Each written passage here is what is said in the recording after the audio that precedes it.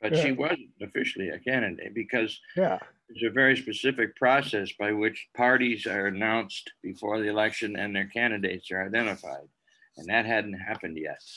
Yeah. Uh, and, and I'm sure that the US had already preordained her as the Guaido of Nicaragua, and they knew they were going to lose the election. And then they would proclaim Cristiana Chamorro as the, as the president of the US acknowledges, and the European Union would go along with it. And guess what? They Sandinistas were smart enough to know that all these people, including Cristiana Chamorro, and all these heads of NGOs and other prominent people in Nicaragua had all been part of the coup in 2018. They had all accepted millions of dollars to destabilize Nicaragua, and they had a they have quite an quite a sophisticated intelligence network since the coup of 2018 caught them a little bit off guard.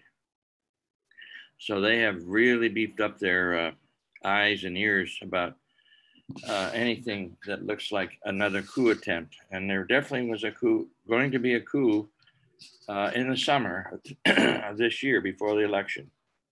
But they also, they also were convicted. They were also charged with money laundering because they had received a lot of money from the NED and the USAID uh, for specific purposes that were in conflict with the stated purposes of, for which that money was supposedly allocated.